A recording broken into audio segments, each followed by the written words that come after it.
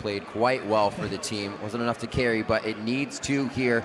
The shake from the coaches one last time if they as they leave their players to game number five. This one is for all the marbles. Tweet either hashtag SKT win or hashtag EDG win to at LOL Esports. Let us know who you think will win the 2015 Mid-Season Invitational.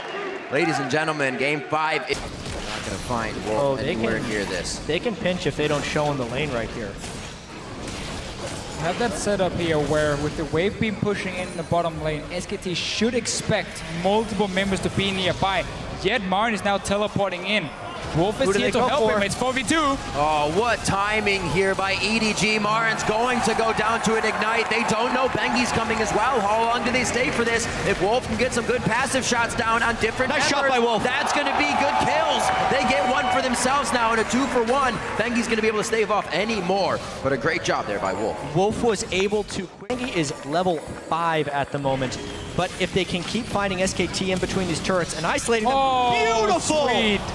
Wolf may not be able to make it out of this one alive. Too many members. Again, Koro is right up against the turret. Is this the finalizer from Faker here? Can he clean up the fight? Koro a little too tanky for the damage they're bringing. There's the mirror image from Faker. Ooh, He's flash going to into start it. dancing around. Pulls back and Faker's good to go. Koro would have stayed alive there, I think. He tried beautifully. Late game for EDG, Deft would have to go superhuman for them to have damage, so his kills are actually incredibly important unless they can accelerate this game. Oh, looks like we also have Wolf coming in here for Pawn. He's gonna draw out the dredge line. Don't know if that actually hit the wall or Pawn. Pawn's still moving around here. He's gonna put down the Soul Shackle now into Wolf. Twisted advance there as Koro finalizes the kill. And now Faker actually gets hit with that binding, but Mirror Image comes off, so he's still able to run around. Clear Love trying to focus now with the rest of the team. It is onto Faker. That's his Mirror Image, and he is already out and ready to Oh, make he goes more. deep. Chain missed. That's going to be Koro going down finally after wanting too much in the fight, and the team couldn't answer with it. Looks like they're going to be able to grab that for themselves. Wolf, nice dodge on the dark binding, preventing any of that crowd control from hurting SKT's disengage, but it's going to be Bang putting himself right in the fight. Koro's already teleported in from the backside as well. Bang falls down. Wolf gets one last passive control on to, uh, uh, I believe, Deft, and he... Mako slowly on the outside. They have no chance to even look at that dragon. It is down. Marin is gnarred out, and EDG may not want this right away. They put a lot of focus onto the tank. Faker already has Deft with a spell shield down. Just a few more to finalize that kill. It's actually Faker that gets hit. He's forced to flash, and now Wolf is left in a sore spot. Faker's Mimic coming, or rather Mirror Image coming back to try and deter the fight, but Bang may also go down here as well. Faker got a few stacks on this one, but that's oh. all that he's gonna get as his team goes down after grabbing Dragon. So once again, EDG, they get a fight where they're really, really strong here in the mid game.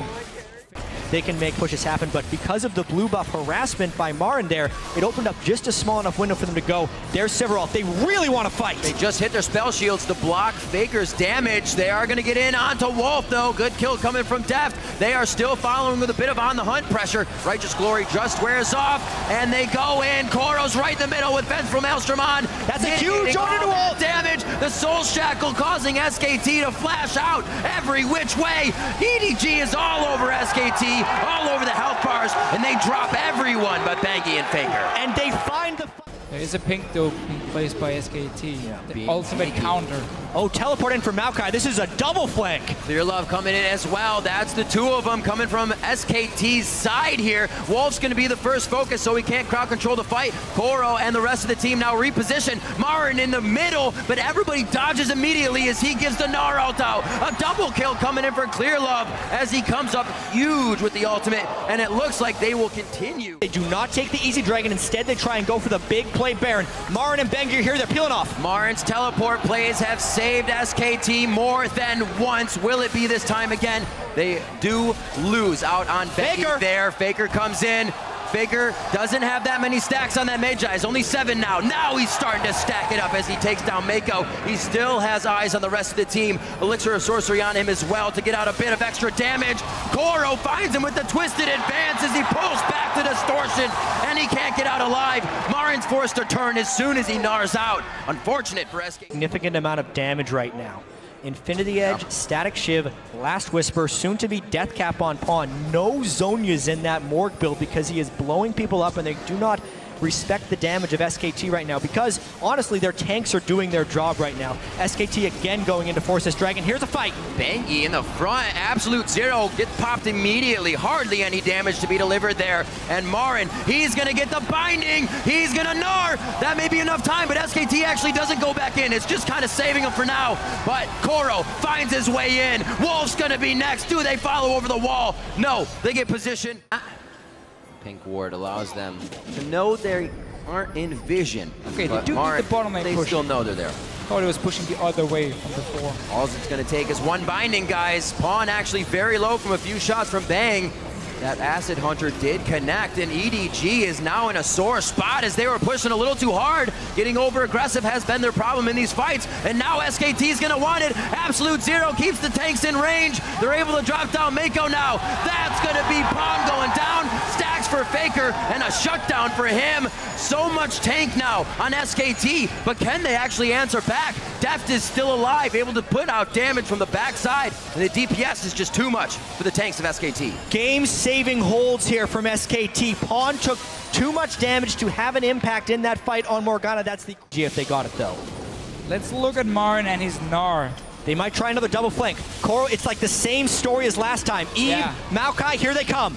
Faker is in the eyes of Clear Love, but now oh, he's zeroed out. He's not going to be able to get with the team. Bang in a bad spot. He goes down to Deft. Bangy's now trying to retreat. Faker gets hit very low, but in a safe spot. That's going to be Bangy going down. I'm not sure they're going to be able to protect this inhibitor turret now, gentlemen. No, just go down, have your tanks on this tower here, take it down, get inhibitor as well for yourself. EDG once again, they use the dragon as some sort of a bait to get SKT moving down. Their wards all around them so they can flank with the Evelynn, This is another very dangerous Baron. EDG needs it to win. Here comes SK Telecom. Bangy not there for the 50-50. Baron going very low at 1500. It is going to go over to Clear Down goes Faker. They take down Faker immediately.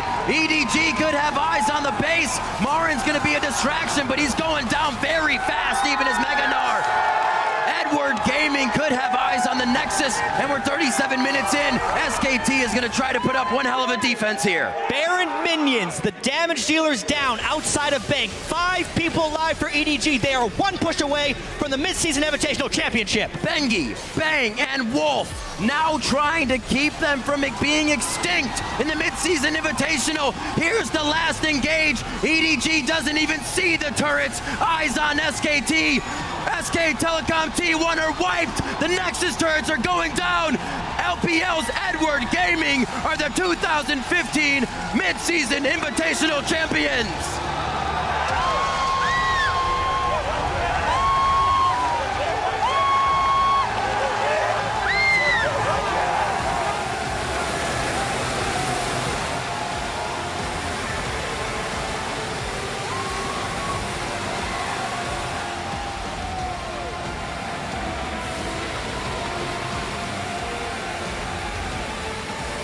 For the first time that I can remember in a major international event of this caliber, All Stars Season 3 World Championship, All Stars of the Year but then, the 2014 World Championship, a Korean team has fallen in a best of five. SK Telecom taken down here by Edward Gaming in a thrilling series of events. And these are your new champions. On once again taking the victory on an international stage, also along with Deft. These guys know the feeling and once again get to live it. What a game, what a series to go all the way to five.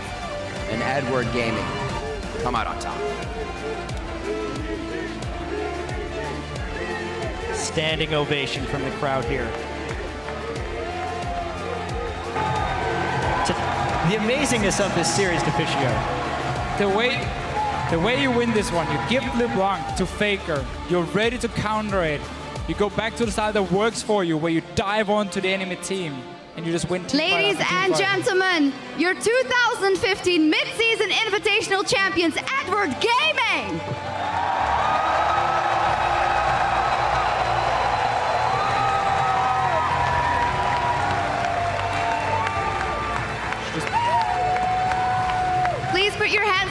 For Riot, Redbird, and Magus for the presentation of the medals.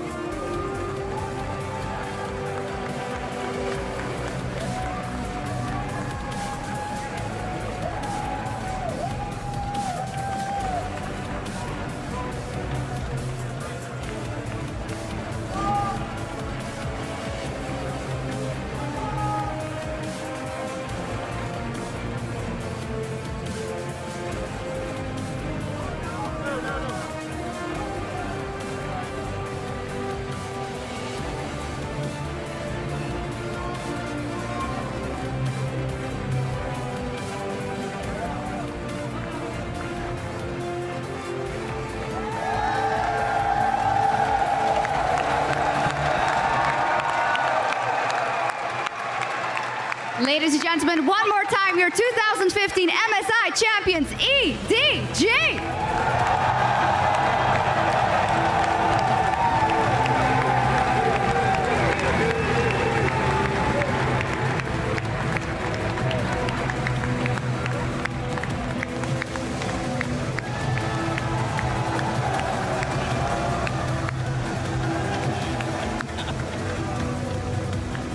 A huge moment for our winners there on the campus of Florida State University and a very well deserved honor. Congratulations to all of them, Edward Gaming. Now, we'll hear more from Shocks and the winning players in just a moment.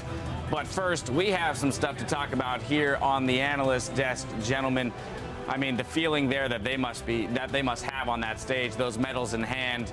I mean, I can't imagine it. I feel actually super, super happy for them. They deserved it. They had a really tough road, and you can just see the faces of them. I think, you know, standing there, I can only dream, you know, that must be an insane feeling. This is a team that has been regionally dominant for such a long time, and they went back to the drawing boards. They made the changes they felt they needed to make. Two Koreans.